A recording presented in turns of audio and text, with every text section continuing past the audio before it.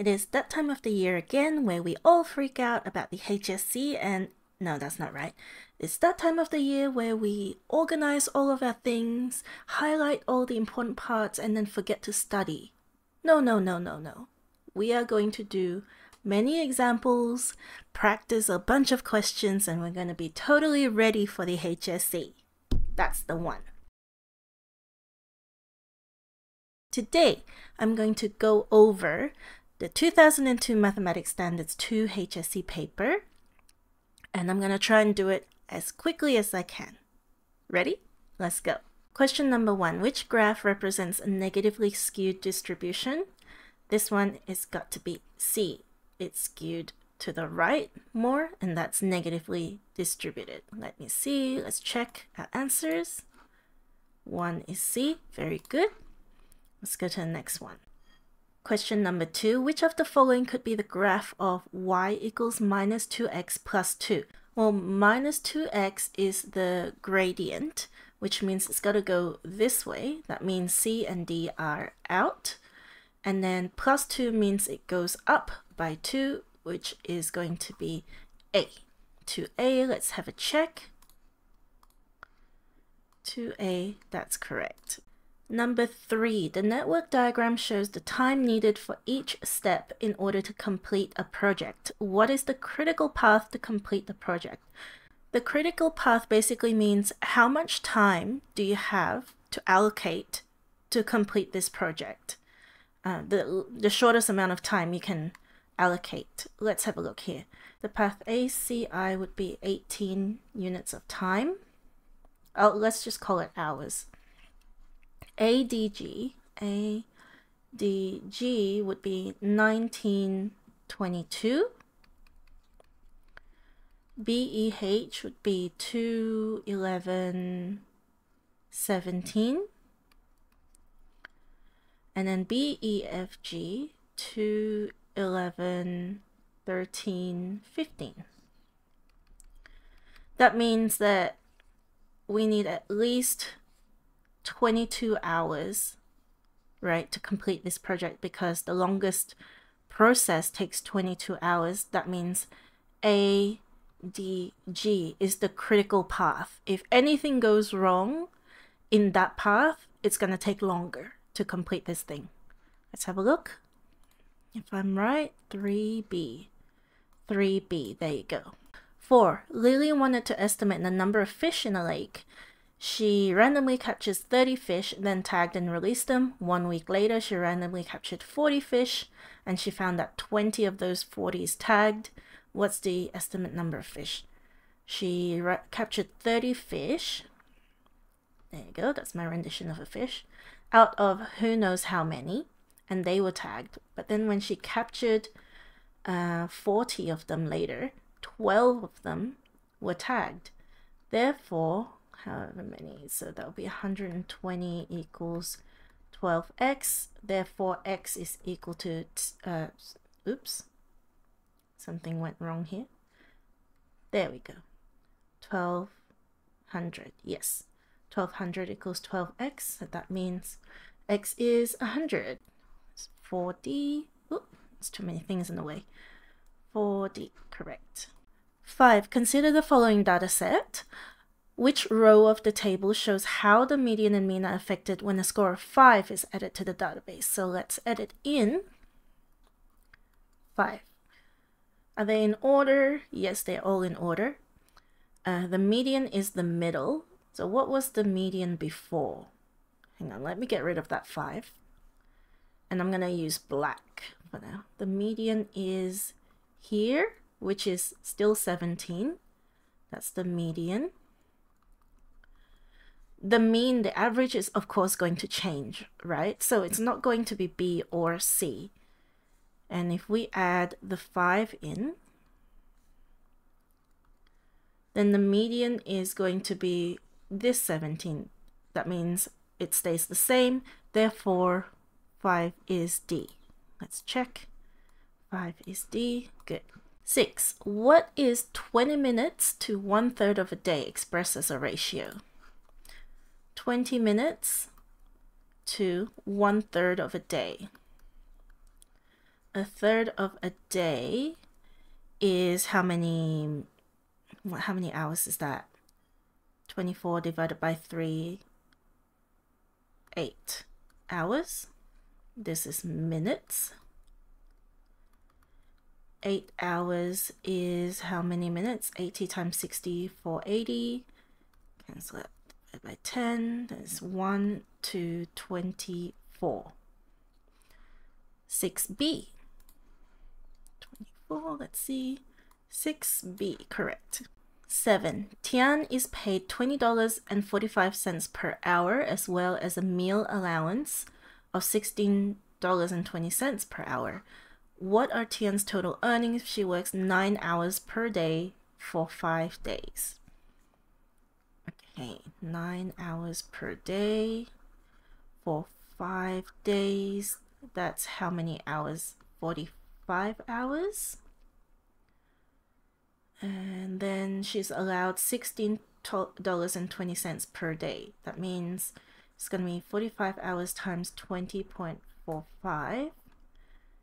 And then whatever that is, it's plus $16.20 times 5. Can everybody see that? Yes. Let's get out the calculator. 45 times 20.45 plus 1620 times 5. $1,001.25. 7C. Let's have a look. Yes. Question 8. Which true bearing is the same as south 48 degrees west? North, south, east, west. South 48 degrees west is there. The true bearing would be yeah, all the way from north to there. So it's 180 degrees plus 48 degrees, which is 228 degrees. 8C. 8C, good. That was a quick one. 9. An object is projected vertically into the air. Its height, h meters, above the ground after t seconds is given that by this parabola. How long is the object at a height of 300 meters or more above the ground. 300 meters is here. Starts from 6 seconds all the way to 10 seconds, therefore 4 seconds. 9a. Let's check. 9a, very good. Question 10. Alex purchased 800 shares. Total cost was 260 per share. All right. We have some information here, 260 per share for 800 shares. Uh, let's find out what that is first. Actually, cost. There we go. And then Alex sold the share one year later for 340 each. Okay, sold 340 each. And pay the fee. Wait no not plus. It'd be minus. 24.95 all right let's find out. So he paid $2,080 for them. So this is his gross profit, oh, gross, yeah, gross income, which means his profit is this minus 2080. $615.05, 10B. Let's look at 10B, yes. Question 11. In 10 years, the future value of an investment will be 150,000. The interest rate is 4% per annum compounded half yearly, which equation will give the present value of the investment. Alright, they all look pretty much the same, don't they? 150 50 is at the top. Now the only difference is whether it's 0.04 or 0.02 and whether it's 10 or 20. The interest rate is 4% per year, but it's compounded half yearly so half of this is 0 0.02. That means these two are out. And then uh, how many times is this interest applied in 10 years? it will be applied 20 times because it's twice a year for 10 years. Therefore, it's 11D. Let's check 11D. Yes. 12. For a particular course, the recorded data show a relationship between the number of hours of study per week and the marks received out of achieved out of 100. At least squares at least squares regression line is fitted to this dataset. The equation of this line is given by that, where m is the predicted mark and h is the number of hours you study. Based on this regression equation, which of the following is correct regarding the predicted mark of a student? It will be 3 for 0 hours of study per week. No, that's not right because if h is 0, 3 times 0 is 0, it'll be 20 plus 0, then that's not 3. Wrong. It will be 20 for 0 hours, yes. It will increase by 20 for every hour. Incorrect, it'll increase by 3 for every hour. It'll increase by 1 for every 3 additional hours, no. Therefore, 12 is B. There we go. 13. A random variable is normally distributed with a mean of 0 and standard deviation of 1. Alright, the mean is 0. The standard deviation is 1. The table gives the probability that this random variable lies uh, below z for some positive values of what? The table gives the probability that this random variable lies below z for some positive values of z are these. The probability values given in the table are represented in the shaded area in the following diagram. What is the probability that a normally distributed random variable with a mean of 0 and standard deviation of 1 lies between 0 and 1.94. 1.94 the probability of this whole shaded area of the uh, random value being in that shaded area is 0.9738. What is the probability that it lies between 0 and 1.94? So we're actually, I'm going to change color. We're looking for the probability of the random variable being in here. That means we have to minus everything to the left of that mean, which is going to be 50%, which is 0.5. So the probability that it will land somewhere in here is going to be 0.4738, which is B, 13B. Oh, let's get rid of everything here. 13B, yes. 14. Which of the following correctly expresses x as the subject? Let's have a look. y equals ax minus b all over 2. 2y equals ax minus b. I'm going to plus b, so 2y plus b equals ax. Therefore, x is going to be 2y plus b all over a. That one. 14a. Yes. Oh, we're up to the last question. Last question of section 1, 15. The cumulative frequency graph shows the distribution of the number of movie downloads made by 100 people in one month. Which box plot represents the same data displayed in the cumulative frequency graph? Alright. The way you read a box plot is this is going to be 25% of the at 25% of the data. This is at 50% and then this is at 75%. And the data given to us conveniently is out of 100, which means at 25 would be this part at 50, we'd get the middle, and then at 75, we should get the high end. Therefore, this 25% mark should be at 3. Uh, so A and B are out. The middle should be at 6. Yes, this is out. And then the higher part should be at 7. Correct. Therefore, 15 is C. Let's check. Yes, that's right. And that concludes section 1. Let's get into section 2. Section 2, let's go. Question 16, 3 marks.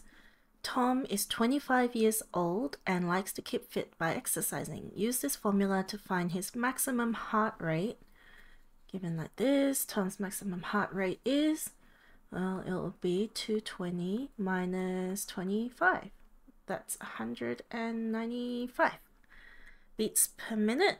B. Tom will get the most benefit from this exercise if it's between 50 and 85% what are the two heart rates he should be aiming for 50% of his uh, of his maximum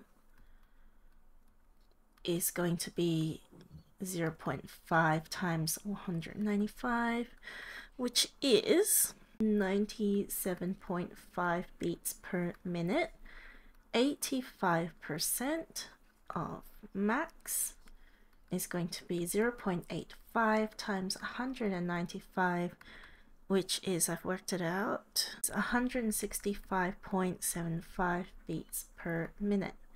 Therefore, he should be aiming for, or it should be Tom should be aiming for 97.5 to 165.75 beats per minute. Let's have a look at the answer. 195 beats per minute and then 97.5 and 165. Good. 17, three marks as well. The numbers 1, 2, 3, 4, 5, 6 are written on separate cards. Amy has 1, 3, and 5. Bob has 2, 4, and 6. They play a game in which each person randomly chooses one of their own cards and compares it with the other person's card. The person with the higher card wins. A partially completed tree diagram is shown, complete it, and find the probability that Bob will win. If Amy draws 1, Bob can draw 2, 4, or 6. 3, 2, 4, or 6, 2, 4, or 6. What's the probability that Bob will win? Well, this is all three will win there. Two will win here and win here. So three, six out of nine. Probability of Bob winning is six out of nine, which is two thirds. Suppose Amy and Bob play this game 30 times. How many times would he be expected to win? 20.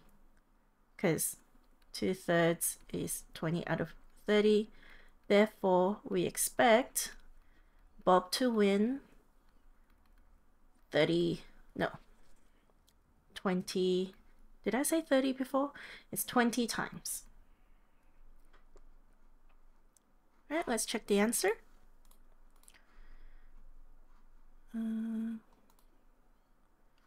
246, 246, 246 is two thirds.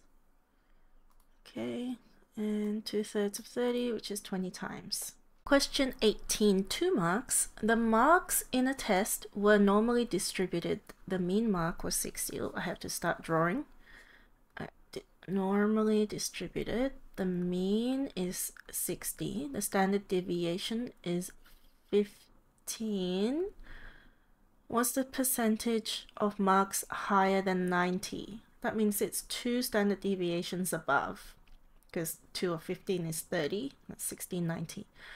What's the percentage of marks higher than two standard deviations above? I'll have to look at the cheat sheet, the reference sheet. Where is it? There it is, normal distribution.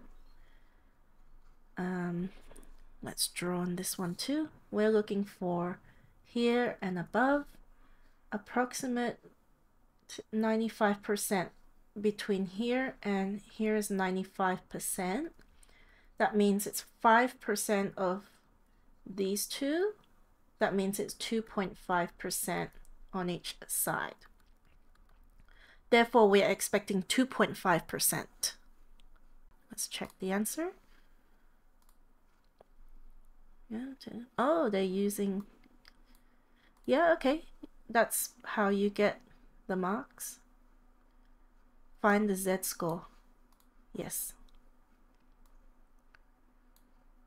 Mm-hmm, mm-hmm. Question 19, three marks. The table shows the types of customer complaints received by an online business in a month. Find the values of A and B. Cumulative frequency would be 98 plus 62 over here. A would be 98 plus 62, which is 160. And then B is what's happening here. 1%, 1% is 2 frequency of 2. And since the damaged item has a frequency of 8, that means it's an extra 4% over here. Therefore, it is 96%. B. The data from the table are shown in the following Pareto chart. 1 mark. The manager will uh, address 80% of the complaints. Which types of complaints will the manager address? That's 50%. This is 80%. Therefore, the manager will address the stock shortage and the delivery fee. Let's have a look. Uh, NTA, oh, we should have checked this first. 160 and 96%, I believe that was right. And B is stock shortage and delivery fee, yes. Now we have question 20 with 5 marks. The table below shows the distances in kilometers between a number of towns. Using the vertices given, draw a weighted network diagram to represent the information shown at the in the table. A weighted network diagram. All right. S to go to Y is 280. And Y to 80. S going to B is 275. 275. This is kilometers. Uh, then C to Y is 60. C to B is 150. Y to S is 280. Y to C is 60.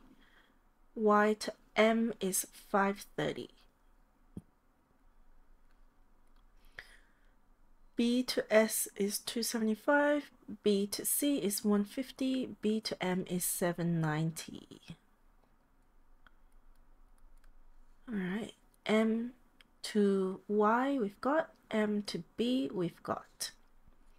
Is that it? Let's see if I'm missing anything. Uh, 28. Nope, that's literally it. Cool. B. A tourist wishes to visit each town. Draw the minimum spanning tree that will allow for this and determine its length a minimum spanning tree. The that means the the shortest amount of length. So the to do every city could either go there. Let's see, what could the tourist do? Go there, there, there. Oh, we can't go from C to M, so that's not a thing. So it could go to there, there, there, then there. That's one way. And then I'm going to change color.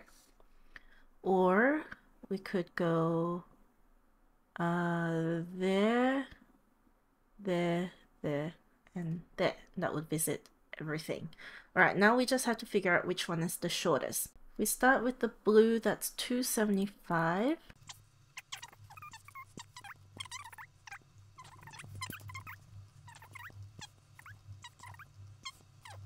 280. Therefore, blue wins. And I kind of wish I can just get rid of one of the color. Oh, I can. this will be the length of the minimum spanning tree would be 1015 kilometers. Let's see if we're right.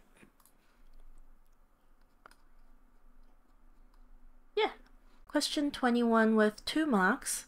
A real estate agent's commission for selling houses is 2% for the first 800,000 of the sale price and 1.5% for any amount over 800,000. Calculate the commission earned in selling a house for one and a half million dollars. Isn't Sydney house prices ridiculous? I'm glad you agree. Let's go. 2% of 800,000 commission commission equals, uh, then it'll have to be plus 1.5% of anything over 800,000. 1.5 million minus 800,000. 2% of 800,000. 16,000. 16,000 plus 1.5% of 700,000. Mm, 0.015 times 700,000, 10,500.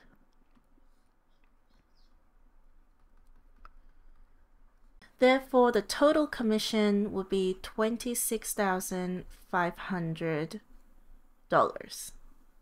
Is that the question? Cal calculate the commission earned? Yes. Let's have a look at the answers. 26,500. Uh, 22 with 3 marks. The formula C equals 100 N plus B is used to calculate the cost of producing laptops where C is the cost, N is the number of laptops, and B is the co fixed cost in dollars. Find the cost when 1,943 laptops are produced and the fixed cost is $20,180. Okay, this is straight algebra.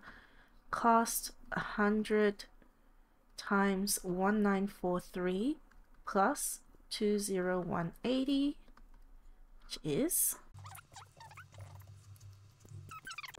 214480. Let's check that one before we proceed. $214480. Yes.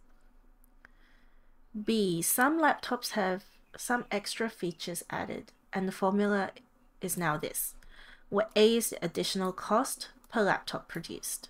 Find the number of laptops produced if the additional cost is $26 per laptop and the total production cost is that. Again, this is just algebra. Let's have a look. Now it's going to be 97040 equals 100N plus $26 per laptop plus 2180. 100N plus 26N is 126N. Uh, yeah, minus 20,180 on both sides, we're gonna get 76860 n is gonna equal this number divided by 126. 610. That's a nice round number. Therefore, uh, 610 laptops were produced. There you go. Let's see if we're right. 610. Very good. Question 23, 4 marks. A teacher surveyed the students in her Year 8 class to investigate the relationship between the average number of hours of phone use per day and number of sleep per day. The results are shown in the scatter plot. Number of sleep, hours of sleep, and hours on the phone. The data for two new students uh, are shown in the table. Plot their results. This is worth two marks, I guess one for each plot. Let's see. Alinta uses the phone four hours per day and she sleeps eight hours a day, therefore she's there. Bir Birani uses the phone zero hours per day. Wow. And she sleeps ten and a half hours a day. just there. That's an easy two marks. If there's a question like this, get the full two marks. B. By first fitting the line of best fit by eye on the scatter plot, estimate the average number of sleep per day for a student who uses an average of two the phone for an average of two hours per day. Let's draw a line of best fit. It'll roughly be use a ruler for this, obviously. It'll roughly be about that. Oh, how convenient is this? Two hours is pretty much at nine hours of sleep. Therefore, it'll be roughly around nine hours of sleep. To get two marks, I'm guessing the drawing a line would be one mark and reading the nine hours would be another mark. But let's check. Question 23. Uh, yep, the, the two marks are there and there. And then 23b, uh, nine hours of sleep. Okay, question 24, four marks. A student believes that the time it takes for an ice cube to melt in minutes varies inversely with the room temperature. The student observes that at a room temperature of 15 degrees Celsius, it takes 12 minutes for the ice cube to melt. Find the equation relating m and t let's see, the uh, time it takes for cube to melt m in minutes is inversely, uh, varies inversely with the temperature. And it takes 12, no, there's a k, there's a constant up there. And when t is 15, m equals 12. Then we can figure out 12 equals k on, whoops, 15. Therefore, k is, what's 15 times 12? It is 180. Therefore, the equation is going to be m equals 180 on t. Let's check that first. 24a. 24a. m equals 180 on t. Very good. Now B, by first completing the table of values, graph the relationship between the temperature and time. When T is 5, M is 180 divided by 5, 36. When T is 15, it'll be 180 divided, oh, 180 divided by 15 is 12. And when t is 30, it'll be 180 divided by 30, which is 6. Oh, I should know that. Now we just plot it. When the temperature is 5, it takes 36 minutes over here to melt when temperature is 15, it takes 12 minutes. And when it's 30 degrees, it takes 2 minutes. Right. We have to graph this. Obviously, this is not looking like it's going to be a straight line. If you're still not sure whether this is a straight line or not, just plot a few more points, you know? Just extend this table out, grab a few more points, maybe grab when t is 10, maybe grab when t is 40 and see what the graph looks like. But I think it's a, I think it's an exponential curve. Like, oops, like this. Like that. Let's see if it's right. We're up to 24b. Aha, there we go. Exponential curve. Did we miss anything? I think those are the points we put down. Excellent. Let's move on. Question 25. 4 marks. The table shows the future value of an annuity of $1. Future values of dollars, years 456. Okay. Zell is saving for a trip and estimates he'll need $15,000. He opens an account earning 3% per annum compounded annually.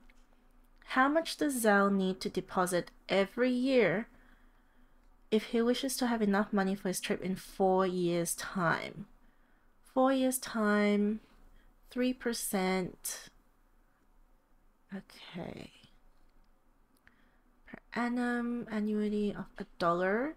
If he puts in one dollar every year for four years, he's going to get four dollars and eighteen cents. How much is he going to need to get fifteen thousand dollars? If uh, so, x, how much is he going to need to put in? Times 4.184 to get 150, oh no, $15,000. Therefore, x is just going to be 15,000 divided by 4.184. 3585.086 dot dot dot which is $3,585.09 every year for four years at 3% interest. I'm pretty sure that's right. Let's have a look. 3585.09, correct. How much interest will Zal have earned on this investment? Give your answer to the nearest dollar. Zal's contribution. How much did he actually put in? It's 3585.09 times 4, right? Which is, he put in himself $14,340.34. Therefore, the interest that he earned, interest earned is going to be 15,000 minus 14,340.34 is equal to minus the answer. He's earned $659.6558 dot dot dot to the nearest dollar is 660 dollars. Let's see if that's right. $660 to the nearest dollar. Question 26, 4 marks. The diagram shows two right angled triangles ABC and ABD, where AC blah blah blah blah blah. Calculate the size of theta to the nearest minute. Hmm. I want to find this side because if I have this side, which I can get from this angle and this side, I can get that one, then I'll have from theta, that's the opposite, and that's the hypotenuse. So I want this one, AB. From 41 degrees point of view, that's the opposite, and this is the adjacent. Adjacent. Therefore, tan 41 degrees, oops, not percent, tan 41 degrees is equal to opposite over adjacent. X is going to become 35 tan 41 degrees, which is, I'm not going to work it out because I'm just going to keep it like that. Therefore, sine theta is going to become, uh, it's going to be opposite over hypotenuse, which is 35 tan 41 degrees over 93. And theta is going to be the inverse sine of 35 tan 41 degrees over 93 degree uh, 93 and then we just put that in the calculator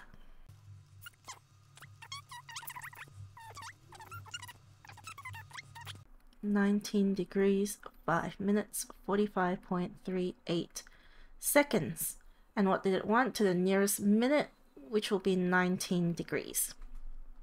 Therefore, theta is 19 degrees. Let's check. Oh, to the nearest minute? Oh shoot, did I read the question wrong? Oh my gosh, I did. I did read the question wrong. To the nearest minute. Yes, 6 minutes. 19 degrees and 6 minutes. Boy, what a silly place to lose a mark.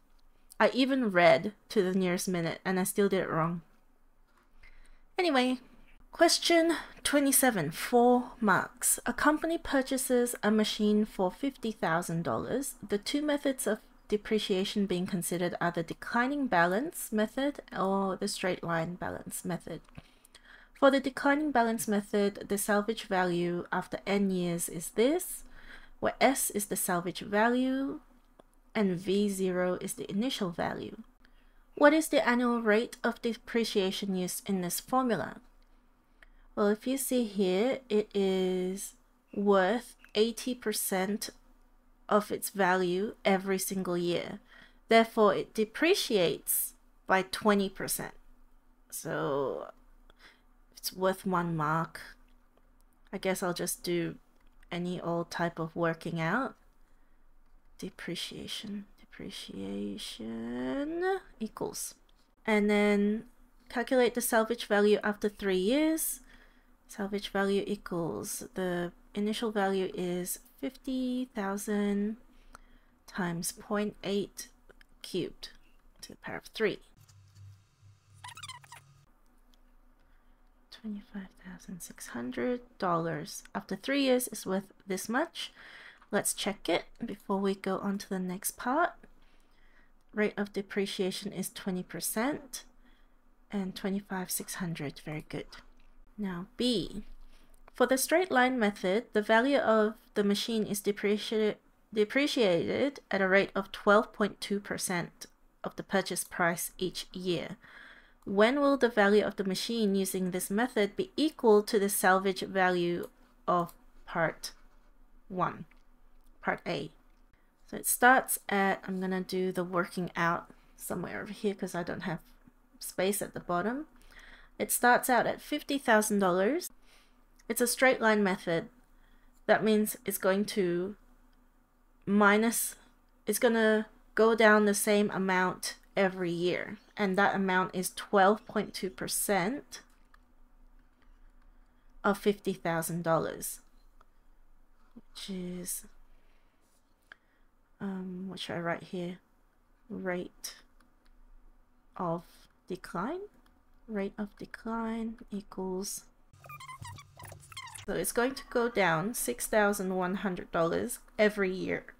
And it's asking us when will the machine, so how many years will it take for it to come down to this amount? That means $50,000 minus 6100 times n is equal to 25,600. Then that will become 50,000 minus 25,600 equals 6100n. I hope you can see that. n would be 24,400 over 6100. It's going to take four years to be the same. Let's look at the answers. Four years. 28. Four marks. A dam is in the shape of a triangular prism which is 50 meters long as shown. Both ends, A, B, C, D, E, F, are isosceles triangles with equal lengths of 25 meters. The included angles BAC and EDF are 150 degrees. Calculate the number of liters of water this dam will hold when full. To calculate the volume of this dam, we just need the area of the triangle and then we times it by 50. To have the area of the triangle, area is half AB sine the included angle, which is conveniently given. Therefore, it's half times 25. So this is A, this is B, and this angle C has to be the included angle between those two sides. And as I said, they've given it to us, so that's good. So A, B times sine 150 degrees.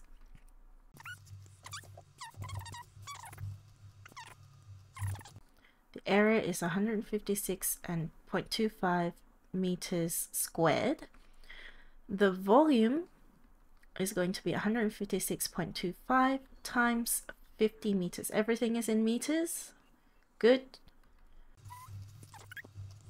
And that is 7,812 and a half liters.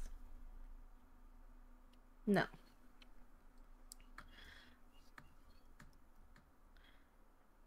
Meters cubed. Uh, what's that in liters? One cubic meter. Hmm, hang on. One cubic centimeter is one milliliter. And one cubic meter is the same as 1 million cubic centimeters. Therefore, it's 1 million milliliters, which is a thousand liters. So one cubic meter can hold a thousand liters. Seven, almost 8,000 of these cubic meters. That means we just times a thousand, which is seven, eight, one, two, five, oh, oh liters. 7 million, almost 8 million liters. Let's have a look at the answer. Where are we up to? Question 28. 7, almost 8 million liters. Very good. Question 29 with 3 marks. Sydney is 10 hours ahead of the coordinated Universal Time, UTC plus 10, and New York is 5 hours behind. Tony travels from Sydney to New York. His plane leaves Sydney at 8:20 p.m. on Wednesday and flies non-stop to New York. The flight takes 20 hours and 24 minutes. What time and day in New York did the plane lane, plane lands? All right. Let's do some drawing. So we have Sydney to New York and left Sydney at 8:20 p.m. Wednesday. And the flight took 20 hours and 24 minutes.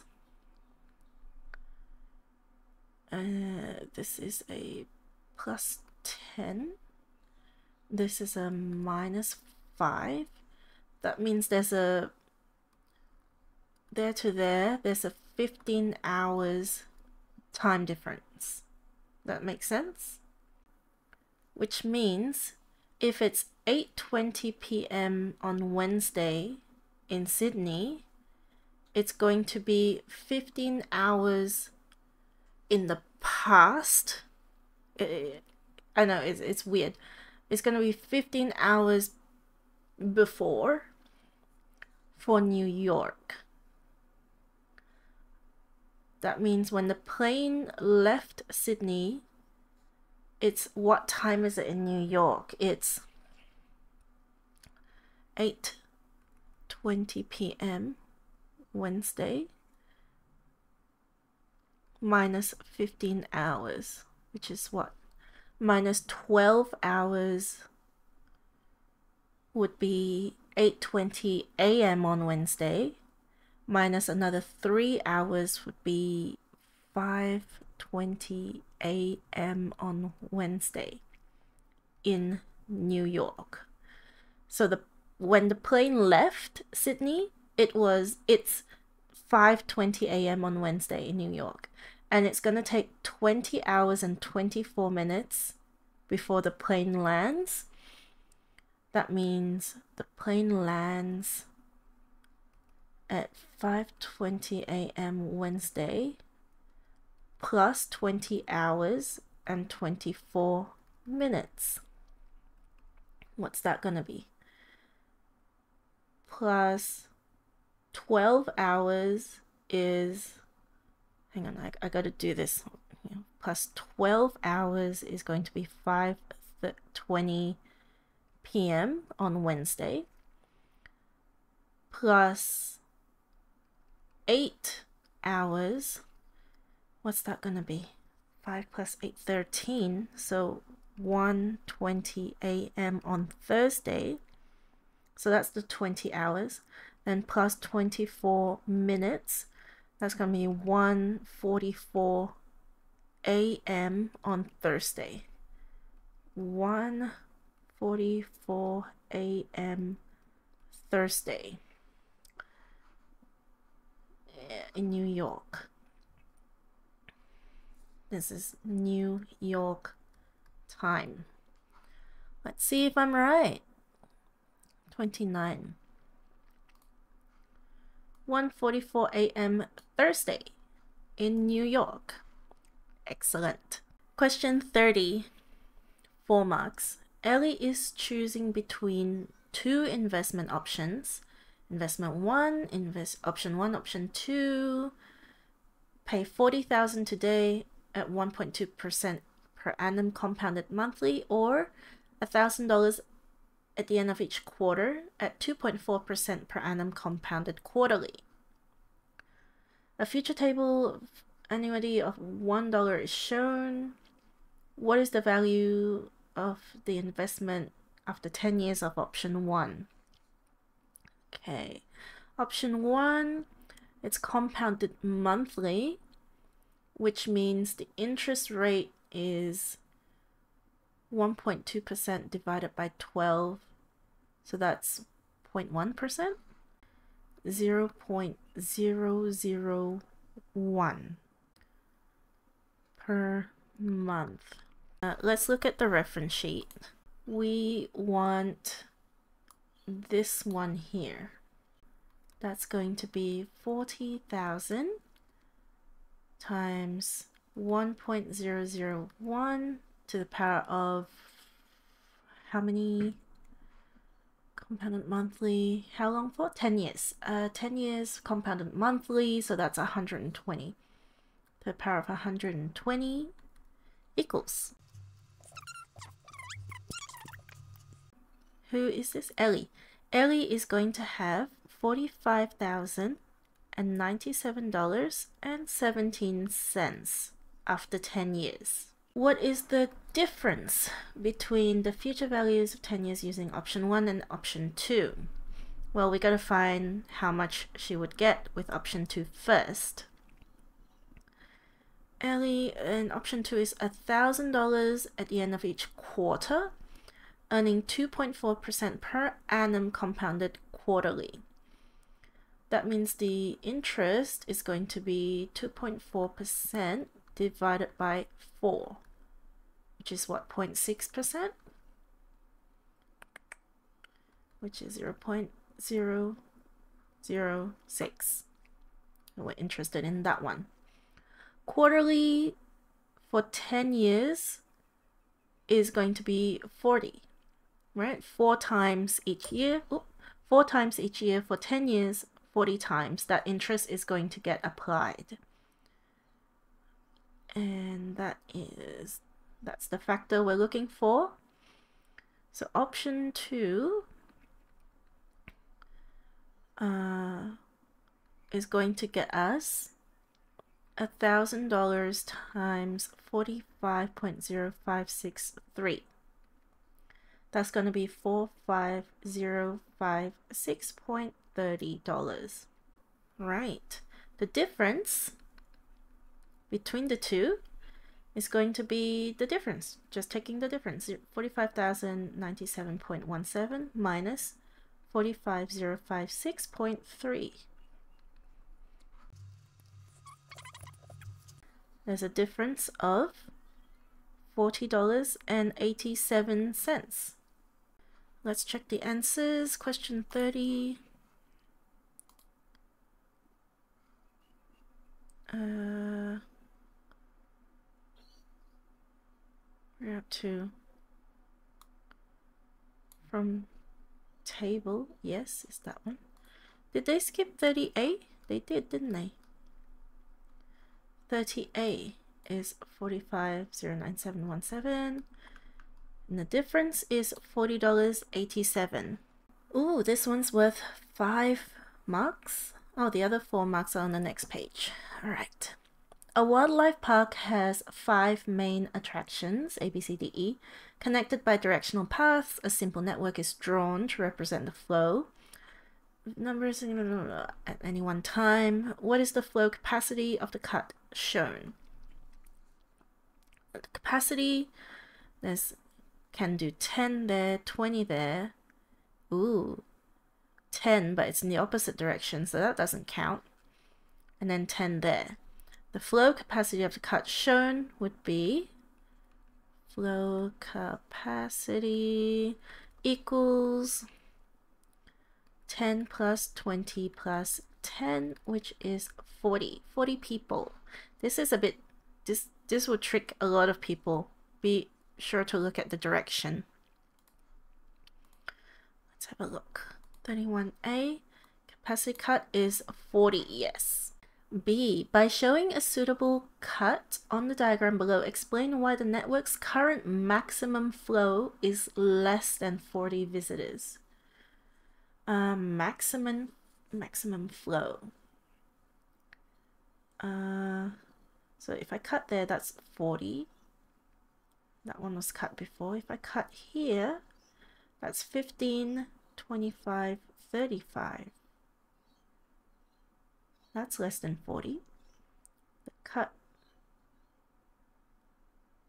cut equals 15 plus 10 plus 10. That's 35, which is less than 40. Yeah.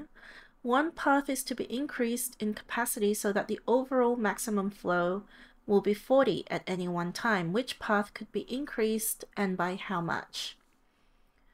Uh, plenty. There are plenty of things we could do. We could increase this one by 5. We could increase that one by 5. Or we could increase that one by 5. Either way, we just have to increase one of them by 5. Let's see what they say. Mm. Yep, that's the cut.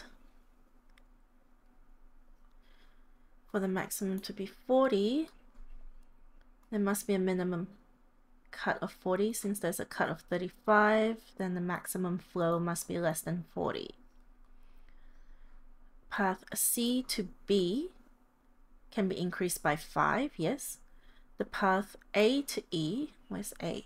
A to E, yes, increased by 5, or D to E. D to E increased by 5. Yep, all of those can be done. By the way, if I was doing this in a in the HSC, I would not be doing it in order because by the time I've come to these type of questions, my brain is turning to mush and I won't be able to think clearly. In fact, I would probably do the whole exam back to front. I would have started from the very hard questions and move my way down to the easy ones because mm, after a few hours of doing this, it becomes harder and harder to think. All right, but I'm going to keep going for you. Question 32, 4 marks. The diagram shows a park consisting of a rectangle and a semicircle. The semicircle has a radius of 100 meters. The dimensions of the rectangle are 200 by 250 meters. A lake occupies the section in the park as shown.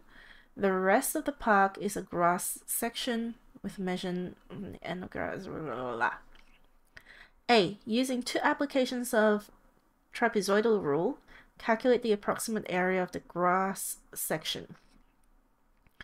Trapezoidal rule is an area which is half of the height a out of a plus b. This is the area of a trapezium. I'll call that a1 because we need to use it two times.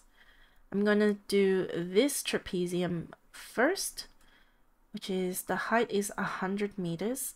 So 100 on 2, and that's 160, and that's 150. 160 plus 150, that's going to be what?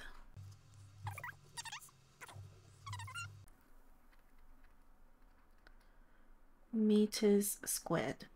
Then A2, similarly, is going to be 50 outside of 150 and 250. That is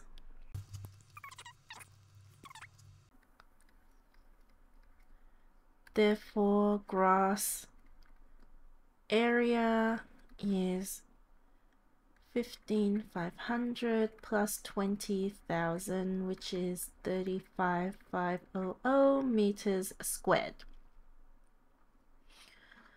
Hence, calculate the approximate area of the lake to the nearest square meter. The lake. I need the semicircle plus this area here. Let's do the semicircle first. Area of semicircle is pi r squared, half of pi r squared. Pi times the radius, which is 100 squared, half it. 10,000, half of 10,000 is 5,000. So it's going to be 5,000 pi meters squared. And I'll leave it at that for now. Area of the other section of the lake is going to be the rectangle minus the grass area. Rectangle is 250 times 200 minus 35500. 14,500 meters squared. Therefore, area of the lake is the two of them combined. 5,000 pi plus 14,500.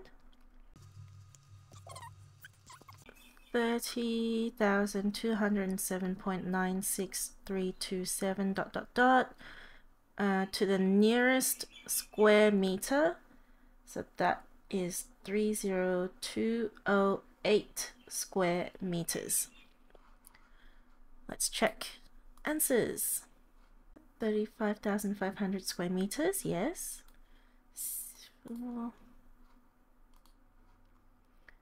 30,208 square meters. Question 33 with 5 marks. The diagram shows an aeroplane that was flying towards an airport at A on a bearing of 135 degrees true. When it was at point O, what when it was at point O, 20 kilometers away from the airport A, the flight. Hang on, let me read that again. The diagram shows an aeroplane that was flying towards. Oh, I see. So when the plane is here, the trajectory changed. Um, the airplane landed on airport B directly south of O. The distance of O to B is 50 kilometers. Show that the distance between airport A and B is 38.5 kilometers correct to one decimal place. A, B. Well, first of all, if that's 135 degrees, then this angle must be at 180 minus 35, so 45 degrees. And to find this side, we'll use the cosine rule, which is a squared equals b squared plus c squared minus 2bc cos A, angle A. Yes. A is what this side is what we're looking for and this is side A and angle A is the one opposite it. So that's right. B and C are both 20 and 50, whichever way around, doesn't really matter. 20 squared plus 50 squared minus 2 times 20 times 50 times cos 45 degrees. One four eight five point seven eight six dot dot dot. A is going to be the square root of this. Square root answer and we have 38.5459 dot dot dot. Therefore, it's 38.5 to one decimal place. Right, now that we have that, what do they want us to do next? Use the sine rule to find angle OBA, this angle here, to the nearest degree. The sine rule is sine, I'm going to call this theta, sine theta over the side opposite it, which is 20, is equal to sine 45 degrees over the length that's opposite that one, which is 38.5. Sine theta is going to equal 20 sine 45 degrees on 38.5. Theta is going to be the inverse sine of that whole thing,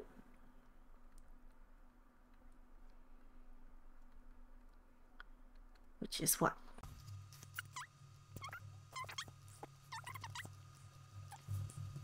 Twenty-one degrees, thirty-three minutes, three point three six seconds. To the nearest degree is twenty-two degrees. And lastly, what is the bearing of the airport at B from the airport at A. What it's asking for is from A, if that was another north over here, the bearing from A to B. So it was wanting that angle. What is it? Well, we just found that this angle is 22 degrees down here. That means if I extend this AB line, uh, that's not very accurate. Let me try again. Okay, if I extended this line further, that means this angle in here is also going to be 22 degrees due to it being corresponding angles because the northern lines are parallel lines. So their corresponding angles, that's going to be 22 degrees. The rest of this is going to be 180 degrees. Therefore, the bearing from B uh, no, no, no. From A to B is going to be 180 plus 22, which is 202 degrees true. Or it is south 22 degrees west. But which is it though? What is the bearing? It doesn't say. Either one of these you can it is true. Oh my gosh. Oh, okay. Let's see there. 38.5. Oh yeah, that's just, we know that that's right. AB is 22 degrees. Yes, got the 22 degrees. And then C is 202 degrees. Correct. There should be a capital T there. Question 34, 4 marks. A composite solid is drawn. The top section is a cylinder with a height of 3 centimeters, diameter of 4 centimeters. The bottom section is a hemisphere with a diameter of 6 centimeters. Uh, da, da, da, Find the total surface area of the composite in square centimeters to one decimal place. I feel like doing this one first. The area of the circle. Area of a circle, I'll call it A1 pi r squared, which is pi times 2 squared. That means 4 pi square centimeters. Got that one. What do I want to do next? I may as well do this next. And that is a rectangle. So A2. The rectangle is 3 by 2 pi r, which is the circumference of the circle. That means it's 3 times 2 pi times 2, That's 2 times 2 is 4, 4 times 3 is 12. That's 12 pi square centimeters. Got that. Next. Uh, I don't feel like doing that yet. I'll do the hemisphere part. I'll call that A3. A whole sphere would have a surface area of 4 pi r squared. Since it's halved, it's 2 pi r squared, which is 2 pi, what's the radius? 3 squared. That's 9 times 2 is 18 pi square centimeters. And then lastly, it's this ring shape here, which is a big circle minus a small circle. The big circle would be 9 pi. The small circle is 4 pi and we get 5 pi square centimeters. Total area, so surface area will equal 4 pi plus 12 pi plus 18 pi plus 5 pi. What is that? That's 30, 39 pi centimeters squared. They want it to the one decimal place. 122.52211 dot dot dot. One decimal place is 122.5 centimeters squared. Let's check the answer.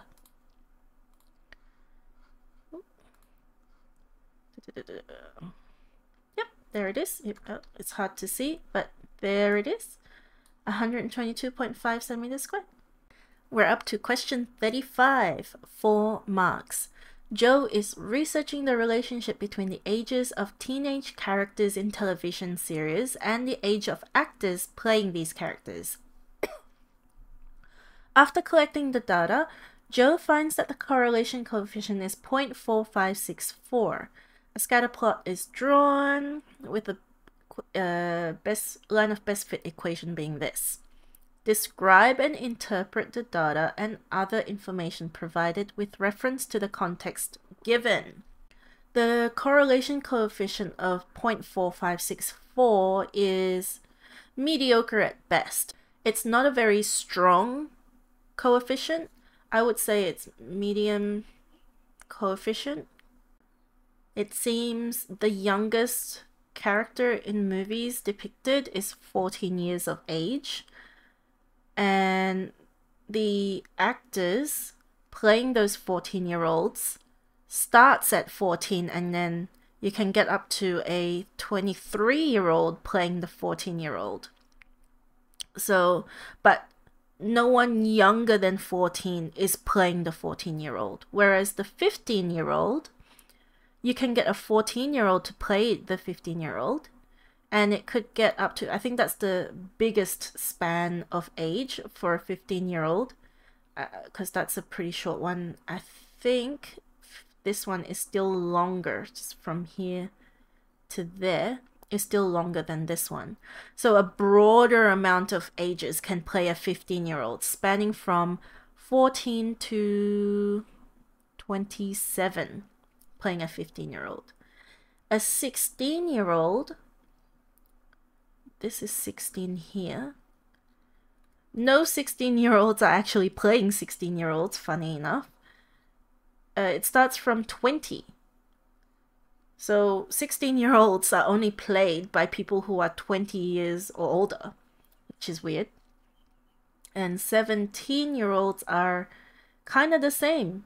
It's only being played by people who are older than 17 all the way up to 30 year olds playing 17 year olds. 16 year olds have the most narrow range of ages playing them, whereas 15 year olds have the biggest amount of range playing them. Uh, what else can we say about this? As the ages get older, then uh, the actors, the age of actors also get older because this line is sloping up. Let's see what they say. Question 35. Let's see, the relationship is positive, it's increasing, is weak to moderate, yep. As age character as character age increases by one year, The actor's age increases by almost two years, right? Mm. The actors playing teenagers do not need to be teenagers. Yes, the ranges from 14 to 17 playing. Oh, right. The characters' age are ranging from 14 to 17, but the actors' age are ranging from 14 to 30. That means there's no need for just young actors, but older people can play them as well. There are few characters of age 14. There are Yep, characters of age 15 have the largest, widest group from 14 to 27. Characters older than 15 are all played by older actors. Yes, we did see that. The youngest actors are going close to the age, but they're all older. Alrighty, that was a lot of talking. Let's move on. Question 37 for 5 marks. Frankie borrows $200,000 from a bank. The loan is to be repaid over 23 years at a rate of 7.2% per annum compounded monthly. The repayments have been set at $1485 per month. The interest charge and the rate blah, blah, blah, blah. Here, what are the values of A and B? Okay, month one, the loan starts at 200,000. They charged an interest of 1,200 he then repaid it this much and this is what the balance is after that one month. How much is the interest charged? It's going to be uh, not 7.2% of this but 7.2% divided by 12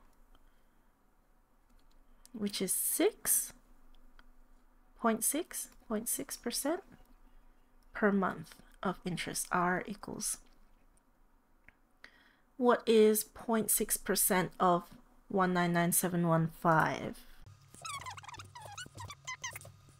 So the interest here would be 1198.29. Oh, I should do working out here. A is going to equal 0.006 times 199715 that's $1198.29. And then, of course, Frankie repays the usual amount. Now it's this much. And then carries over. This is now the interest. Repays it. How much is it left? That's easy. It's just going to be 199428.29 plus 1196.57 minus 1485.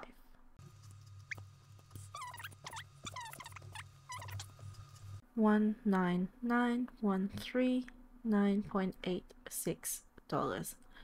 Let's see, it's less than that amount, which is good. Next one.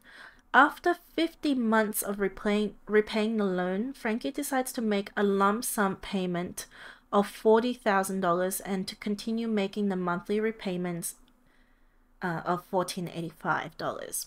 The loan will then be fully repaid after a further 146 monthly repayments. How much less will Frankie pay overall by making the lump sum payment? Let me think on this for a minute. I think I've got this. Let's pretend he never put in the lump sum of the $40,000 without lump sum equals he's paying 1485 every single month for 23 years. That's 23 times 12. How much is that total? He's paying four zero nine eight six zero dollars. Nine. Now that he's paying the lump sum in the middle with lump sum, what's he saying? After 50 months. So he's paid 1485 for 50 months. He then put in $40,000 and then continue for a further 146 months. So actually, I should have put in 196 here. Oops, plus an extra 40,000. He's only paid 331060 with the lump sum. How much less is he paying? So the difference, uh, difference equals 409860 minus 331060. He's paying $78,800 less. Then, of course, you would write a sentence at the end saying, therefore, Frankie will pay $78,800 less overall. Let's check the answer. To 36A. I'm pretty sure those were it. I didn't check them. You guys can vouch for me. Let's go through here. Uh, see, no, 409, 860, 78,000. Yeah, Frankie saved $78,800. Question 37. Second last question. We can do this. Three marks.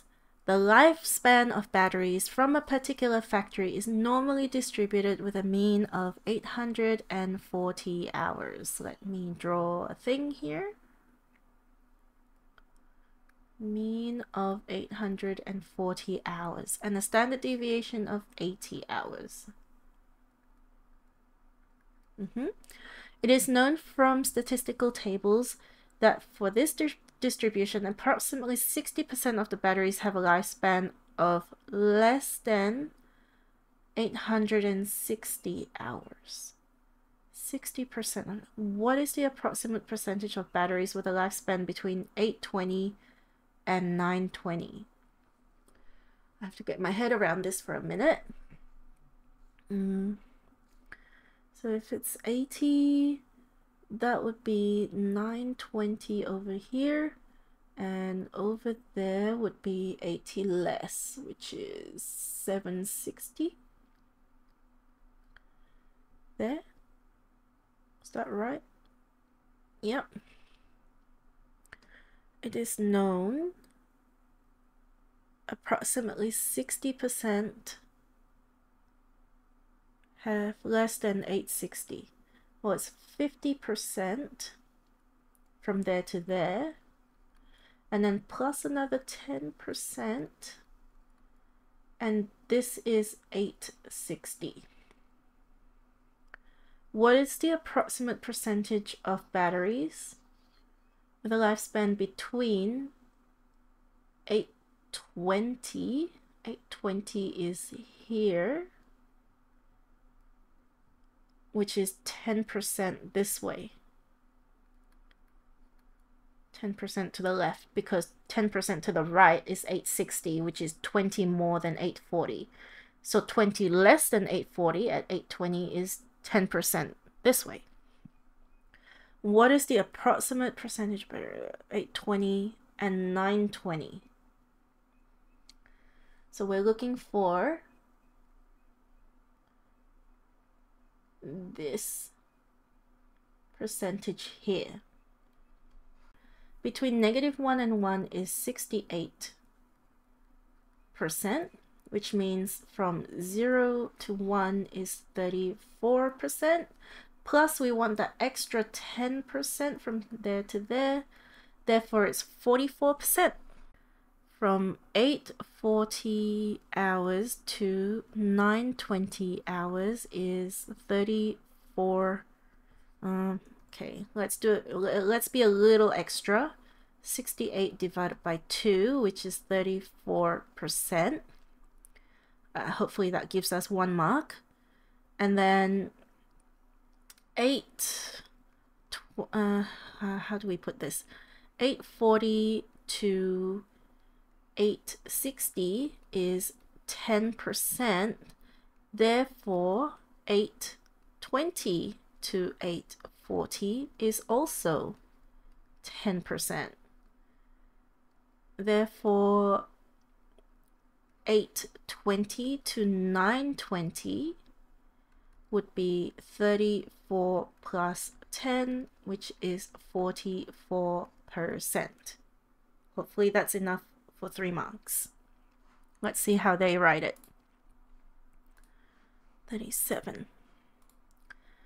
60% have a lifespan less than 860. 10% between 840 and 860, therefore 10% will have 820 to 840. 68% between 760 and 920, therefore 34% will be between 840 and 920, therefore it's 44%. There you go. With three marks, a full container has 4.8 liters of a mixture of cordial and water in the ratio of 1 to 3. Let's start with it was originally 4.8 liters. However, 1.2 liters were taken out. Uh, volume, I'll just say. Volume equals. Therefore, what's left behind is 3.6 liters. In that 3.6 liters, it is still one part cordial to three parts water. That means one part is going to be 3.6 divided by 4, which is 0.9 liters. That means there is 0.9 liters of cordial and 2.7 or 0.9 times 3 2.7 liters of water in that mixture. However, they then add 1.2 liters of water into it, which means there's going to be 0.9 liters of cordial to 3.9 liters of water. Now we have a new ratio 0.9 to 3.9. 0.9 to 3.9. But we rarely leave ratios with decimal points, so I'm just gonna use my calculator real quick. If I just do 0.9 over 3.9 gives me 3 to 13. Therefore, the new ratio is 3 to 13 of cordial to water. Let's see this is right. 3 to 13 cordial to water. There you go. There you have it. We finished it. Thank goodness. If you have any questions, if you want more details on how I did something, or if you just want more in depth information, leave your questions in the comments below and I will make separate videos describing it in more detail. Do well in your HSC. Let me know how you go. Until then, study smart, not hard.